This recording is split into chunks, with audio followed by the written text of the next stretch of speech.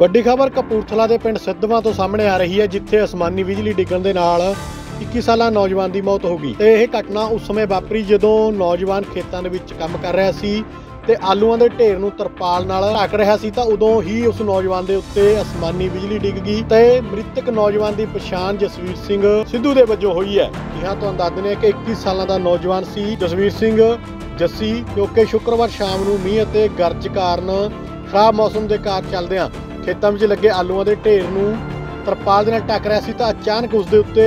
ਬਿਜਲੀ ਡਿੱਗ ਗਈ ਤੇ ਜਦੋਂ ਨੌਜਵਾਨ ਤੇ ਬਿਜਲੀ ਡਿੱਗੀ ਤਾਂ ਅੱਗ ਦੀਆਂ ਲਪਟਾਂ ਨਿਕਲਦੀਆਂ ਦਿਖਾਈ ਦਿੱਤੀਆਂ ਤੇ ਅੱਗ ਦੇ ਕਾਰਨ ਜਿਹੜਾ ਹੈ ਉਸ ਦੀ ਮੌਤ ਹੋ ਗਈ। ਤਾਂ ਜਦੋਂ ਨੌਜਵਾਨ ਦੇ ਅੱਗ ਲੱਗਣ ਸਮੇਂ ਕਾਬੂ ਪਾਉਣ ਦੀ ਕੋਸ਼ਿਸ਼ ਕੀਤੀ ਗਈ, ਪਾਣੀ ਪਾਇਆ ਗਿਆ ਤਾਂ ਉਦੋਂ ਤੱਕ ਨੌਜਵਾਨ ਦੀ ਮੌਤ ਹੋ ਚੁੱਕੀ ਸੀ। ਮਜ਼ਦੂਰਾਂ ਦੇ ਦੱਸਣ ਮੁਤਾਬਕ ਜਿਹੜਾ ਉਹ ਲੱਗ ਰਿਹਾ ਹੈ ਕਿ ਨੌਜਵਾਨ ਦੇ ਕੰਨਾਂ ਤੇ ਲੱਤ ਦੇ ਨਿਸ਼ਾਨ ਤੋਂ ਇਹ ਲੱਗਦਾ ਕਿ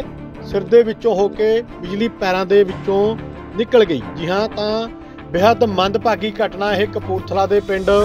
ਸਿੱਧਵਾਂ ਤੋਂ ਸਾਹਮਣੇ ਆ ਰਹੀ ਹੈ, ਜਿੱਥੇ ਅਸਮਾਨੀ ਬਿਜਲੀ ਡਿੱਗਣ ਦੇ ਨਾਲ ਨੌਜਵਾਨ ਦੀ ਮੌਤ ਹੋ ਗਈ ਹੈ ਤੇ ਨੌਜਵਾਨ ਕਿਸਾਨ ਜਦੋਂ ਆਪਣੇ ਖੇਤਾਂ ਦੇ ਵਿੱਚ